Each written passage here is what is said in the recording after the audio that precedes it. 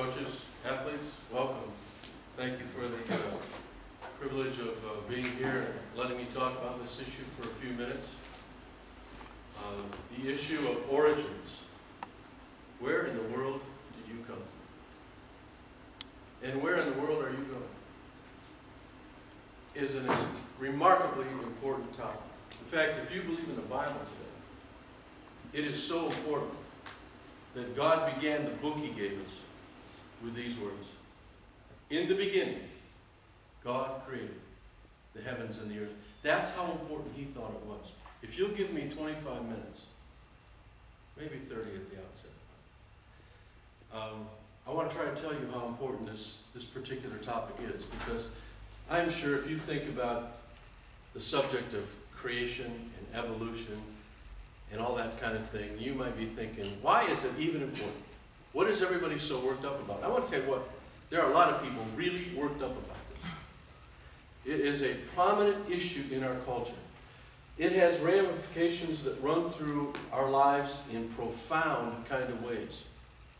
I'd like to show you some of that as I go through this, but the subject is really deep, really wide, takes a long time to really come to terms with it all. All I can do here today is kind of like whet your appetite a little bit for it and to try to help you understand how important it is and get you engaged in this issue, this topic, because people see it differently. And if you are new in the faith, as Coach Kevin said, you, you got to realize this is the place of foundation. And maybe you've never set this foundation, you're a believer, but you uh, have never set this foundation. And then those of you who've been through schools of one kind or another, particularly in a public secular school setting, you've been taught something very different for a long time other than biblical creationism. You've been taught and inculcated in the thinking of secular humanism and this thing called evolution. So how did we get here? And why is that important? If you give me 25 minutes, I will answer that question for you.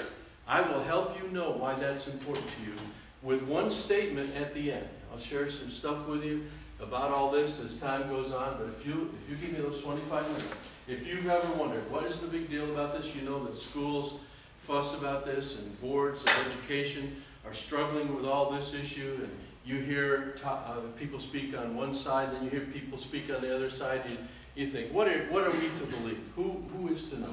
If you give me those 25 minutes, I will guarantee that I can show you that it has significance and importance for your life. The way you answer that question will determine the way you live the rest of your life. Where did you come from? And where are you going? This question is important for how you will live your life. And this question is important for your eternal destiny. The destiny of you for all eternity may depend on how you answer this question, how you form your thinking around this question. Because I want you to understand that the origin controversy, the issue of where we came from as mankind, as the human race, is really a struggle uh, with two predominant ideologies, philosophies, or worldviews. And uh, it's either based on one that is natural or it's based on one that is supernatural. It's based on one in, in terms of uh, what you've been taught about evolution and how it all came to be, or it has to do with that which is supernatural. And I'm just going to be upfront with you and tell you if you buy into this book, like I do, believe this book like I do, this is a book that is based on supernaturalism, miracles, supernatural power, different than what the rest of the world shows us in its natural processes. So when you come to discuss uh, where we came from and the origin of life, you will find out right at, right at the uh, start of it. You have a decision to make. I'm never going to tell you what to believe. You believe what your heart tells you to believe but you will have this decision to make. Is life around us based on that which is only natural? Natural processes? Philosophy called naturalism that says matter is all that is exists. It's here eternally. There is no such thing as a God. The cosmos is a closed system. Human beings are just machines that have developed through evolutionary process. The universe is understood only by science. Or will you believe in that which is supernatural? In an infinite, omnipotent God, who the Bible teaches us is the single cause of all that exists, and the sovereign ruler over everything that he has made. Those are the two choices that you have. Either we came to be through those natural evolutionary processes, or we were created by a God who had the power to say, Let there be light, and there was light. Who had the power to say, Let us make man in our own image, and formed us from the dust of the earth, like the scripture says. What will it be? You have those decisions to make. And uh, your life depends on it. Because how you answer that question will dictate how you spend your life in this world and in the world to come. Now, one thing I want to say to you as you begin uh, your thinking about this is if you're going to be entering this debate of where we all came from and where we're all going, and whether or not it's uh, based on evolutionary process or God's ability to supernaturally create, you're going to have to become a student of this topic because it's not easy. And uh, you got to get in and you got to dig. And you've got to listen and you've got to study and you've got to prepare. And one of the things you really have to do is come to terms with uh, the definition of what we're actually even talking about. You know, for example, I meet with students all the time and we start talking about evolution, and I know that you've been inculcated in, in that thinking all through the public school system. And uh, so if you want to talk about evolution and find out, for example, a person like me that doesn't agree with its perspective, I, that I'm a creationist, one of the first things we have to do is even define what terms we're talking about. Because there's a sense in which I can tell you, well, sure, I believe in evolution. If you mean that it's how organisms change over time, everybody believes that. You can watch that happen. That's real. I mean, if that's what science teachers are trying to tell you, that evolution is just how we change over time and how organisms change uh, around a mean variation of living things, well, sure, that's called microevolution. And yeah, I believe that. Certainly. But I want to tell you, when you're talking to the scientists of the culture today, that is not the way in which they define the word evolution. And it's which is why I take exception to it. The way evolution is defined by the scientific community today is this. Evolutionists in the scientific community believe that there was a point in time when there was absolutely nothing. There was only inanimate, that is, non living matter. And through the process of uh, mutation and random chance, this inanimate matter became a single living cell. And from that single living cell, there is a common ancestry to which we have everything that exists, including humankind, plants, animals, and the cosmos beyond. That, ladies and gentlemen, is the way the scientific community believes in evolution today. To which I want to say, can you think of anything more ludicrous? to think, I mean, philosophically speaking, this makes absolutely no sense, that everything came from nothing. Makes absolutely no sense. But that is the position that they take. That is the position called macroevolution, which I cannot abide. I do not believe. I believe in microevolution, change, vari variation around the mean, or sometimes you, you've heard in your classes here or in your high school classes where be, uh, this term called natural selection. And sometimes I hear students talk about natural selection as though it was the meaning of evolution. Natural selection is not the meaning of evolution. And natural selection has been considered by evolutionists to be that mechanism that drives that single molecule to become everything that exists, including all of us. And that's not what natural selection says at all. As a matter of fact, natural selection is a scientific way of thinking that was developed by a creationist, a guy by the name of Edward Blyth, introduced the concept of natural selection. Do I believe in natural selection? Absolutely. Natural selection is true. There is variation around a mean. There is such a thing as microevolution, if by that we mean that change. The ability of organisms to survive. Darwin was right in using that, but it wasn't his term. And Darwin was right in using this term, survival of the fittest. That, in fact, does happen. Organisms change and adapt to their environment. So you see where the, the differences come and how we understand the terms? And people get all concerned and all worked up about what this term is and what this term means. If by evolution you simply mean change, variation around a mean, fixity of species, or as the Bible says, creation according to its kind, then yeah, we can abide that. We can, we can handle that. But to think of evolution in terms of there at one time was nothing, and it became a living single cell that developed through billions and millions of years through processes of this microevolution that became macroevolution and everything came into existence from non-living matter is absolutely ludicrous. And I want to tell you what, scientists today know it. Scientists today know it. My point about that is this. If you want to enter the debate, you got to go in the whole way. And you've got to be able to define your terms. And you've got to be able to learn and to grow in the understanding what this is all about. I do want you to see what is spiritually at stake, in my view, as it relates to this topic. And this is a wonderful little book, John MacArthur, The Battle for the Beginning. And uh, he quotes a guy by the name of Marvin Lubenow, who writes, The real issue in the creation-evolution debate is not the existence of God.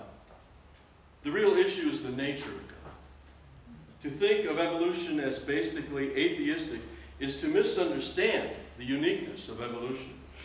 Evolution was not designed as a general attack against theism. It was designed as a specific attack against the God of the Bible.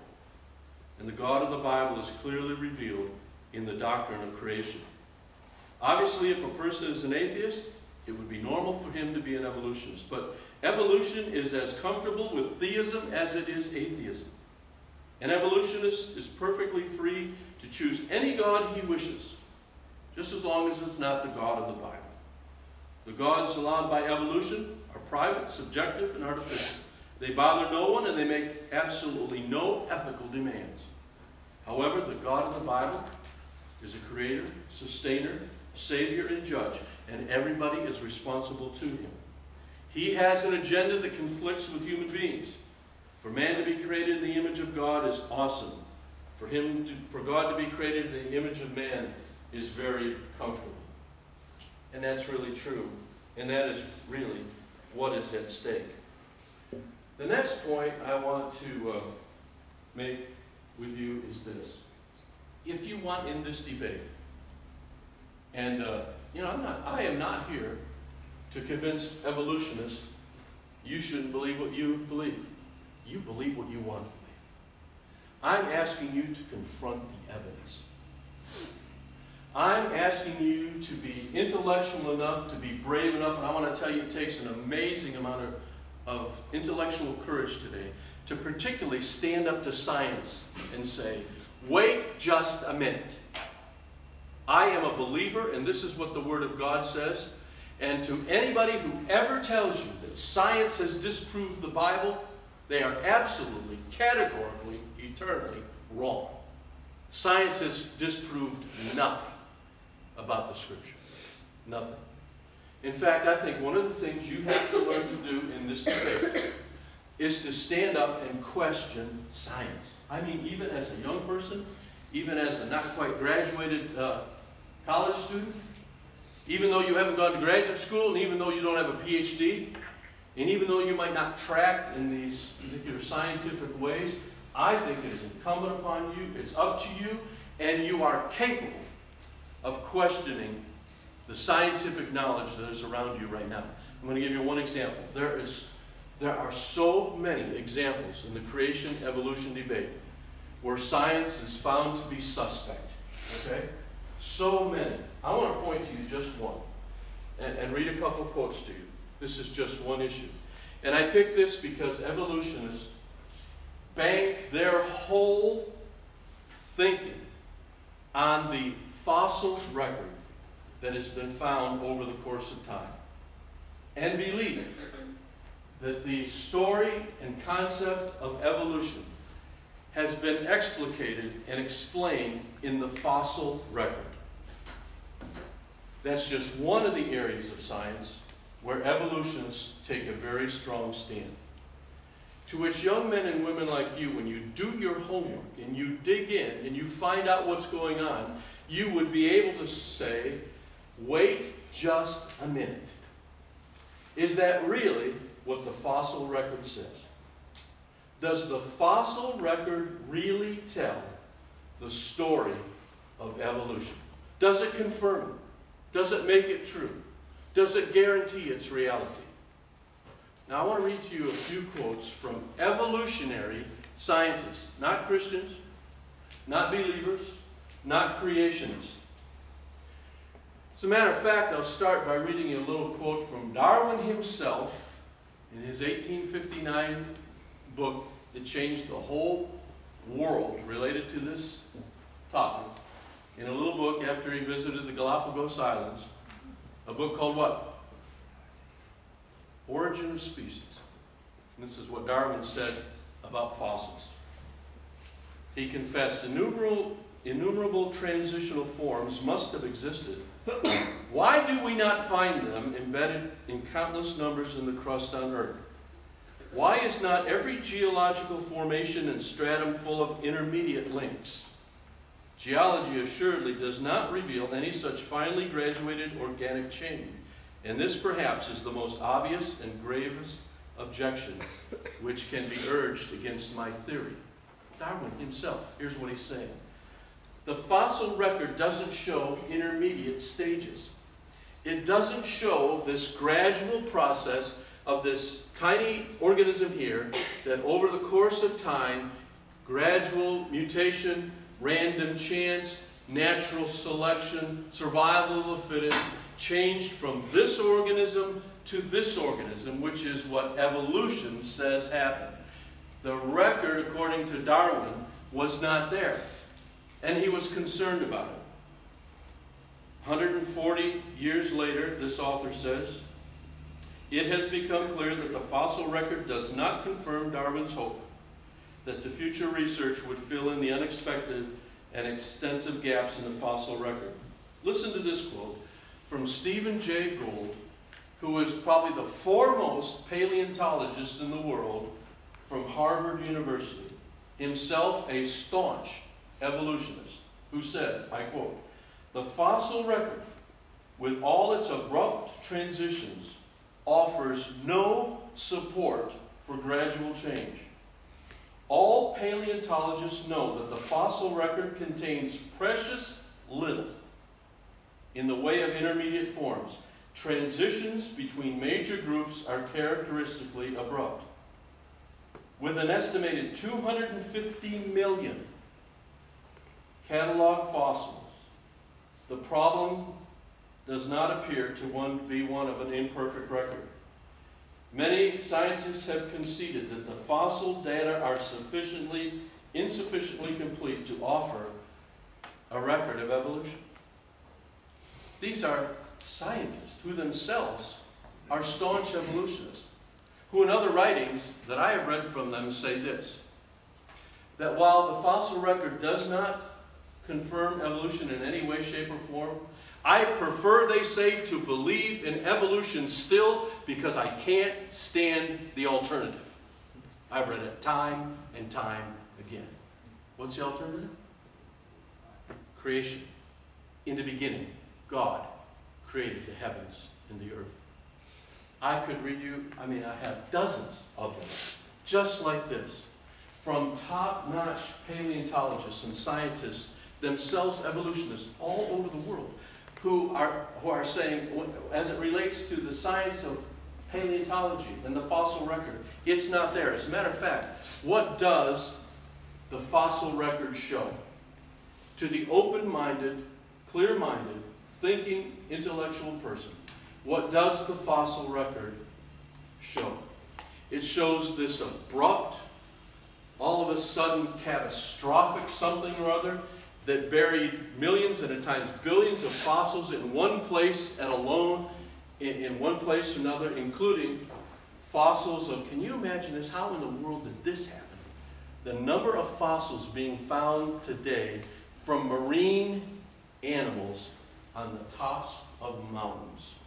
How in the world did that happen? And what do paleontologists think of that? What happened? It's called the global flood. A flood described in Genesis 6 through 9. The fossil record actually supports the biblical record of how creation happened. There are no transitional forms. Do you see that? Over a quarter of a billion fossil records right now, and there is not there is nothing that shows one organism changed into another organism, which is the hypothesis of evolution. I want to tell you, this is just one area. And all through the scientific community and all through the science, you have got to learn to stand up and say, wait just a minute. And I'm telling you, for students, whether they're here or in other institutions, if you're walking away from the Bible because you think science has given, you, uh, given us an assured result of this or that or the other thing, and that science has disproved the Bible, it is just not true. You want to stand up for the Bible, you can stand up for the Bible all day long.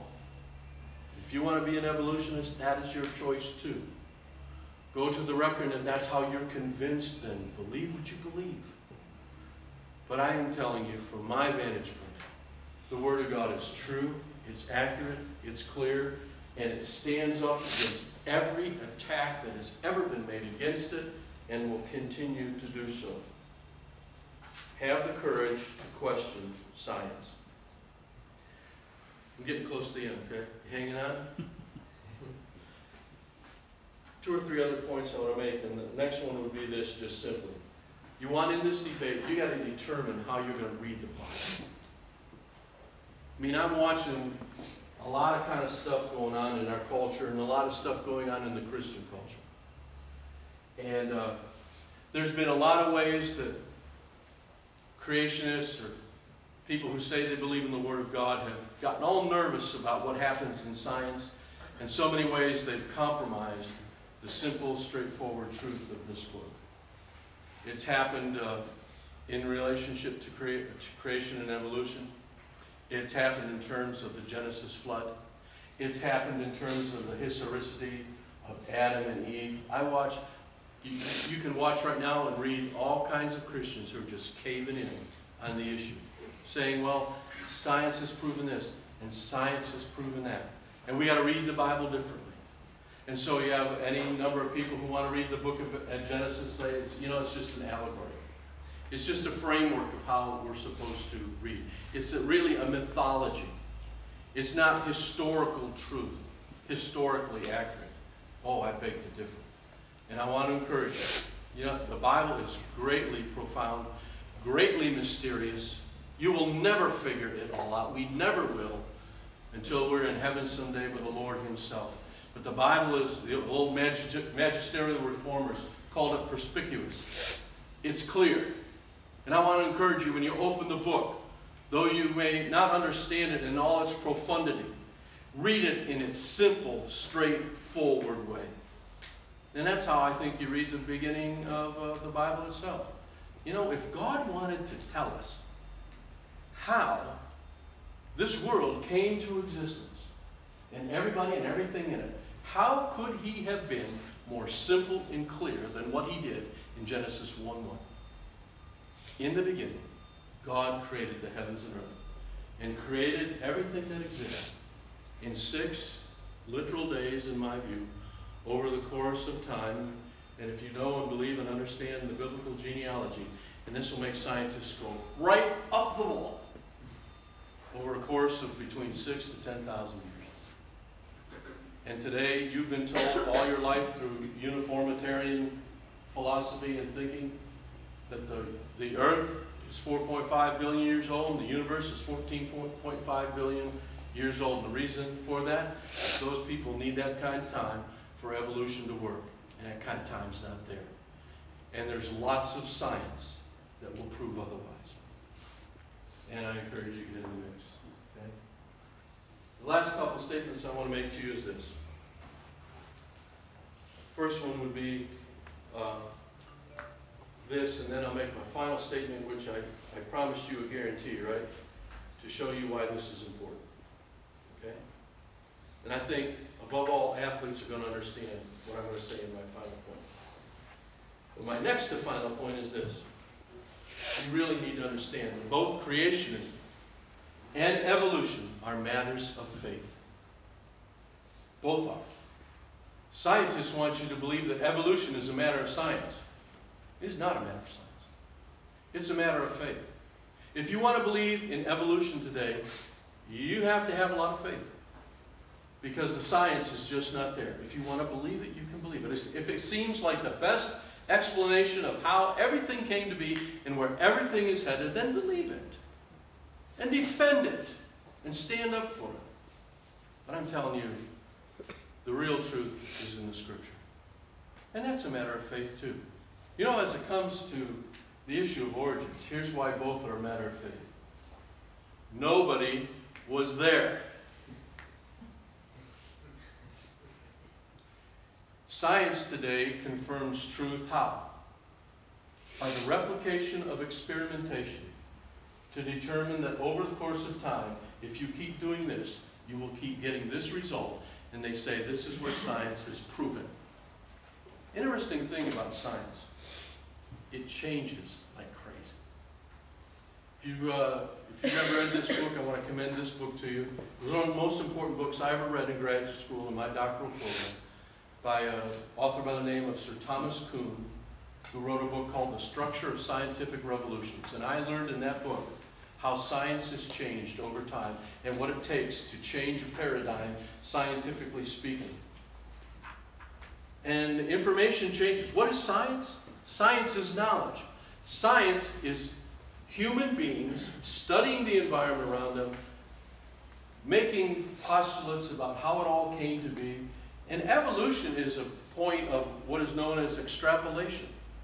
Darwin looked at those finches and their beaks on the Galapagos Islands and uh, he thought he saw evolution.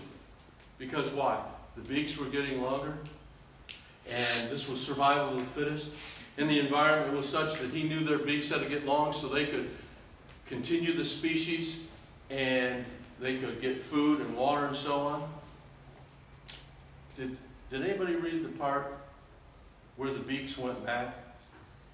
Did you know that's true? They studied the Galapagos Island finches, and uh, after the drought and so on, the beaks go the beaks go back. Is that devolution? Science has a way of looking at the world, and God has gifted us as human beings to think and to observe and to experiment and to understand our world. But when He wanted to, us to understand